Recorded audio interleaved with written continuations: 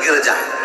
कैसे पत्ते? जब पतझड़ का मौसम आता है तो आम के जो पत्ते नीचे ज़मीन पर झड़ते हैं 21 पत्ते इकट्ठे कर कर उसको आग लगाकर, जलाकर भस्म तैयार कर लीजिए।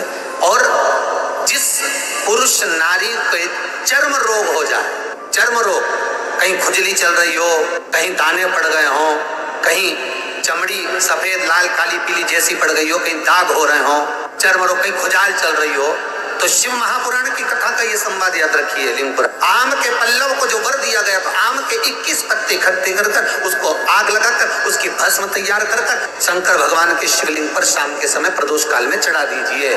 वो भस्म, और उस भस्म को उठाकर लेकर आ जाओ, डब्बी में भर लो, और गाय का घृत उसमें डाल लीजिए, और उस स्थान पर लगाना चालू कर दीजिए। तीन दिन में दांत खाद खुजली जो भी होगी, मिटना प्रारंभ हो जाएगी। उसमें इतनी प्रबलता आ जाती है। शंकर को जो भस्म चढ़ी है, आम के शास्त्र वर्णन करता है उस भस्म को छान पीस कर उसका आनंद, उसकी कोई तो बहुत ही अच्छा उपाय है साथियों, बहुत ही सरल उपाय है। दांत खाज खुजली या किसी भी चर्म रोग के लिए आँखों के नीचे गहरे काले हो जाना सबके लिए यह उपाय बहुत ही कारगर है। इस उपाय को ज़रूर करें। हर हर महादेव साथियों, चैनल को ज़रूर सब्सक्राइब कर देना। इसी तरह से उपायों से रिलेटेड वीडियोस आपको अपने इस चैनल से प्राप्त होती रहती है। महाकाल बाबा आपकी सारी कामना पूरी करे। इसी के साथ मिलते हैं नए वीडियो में।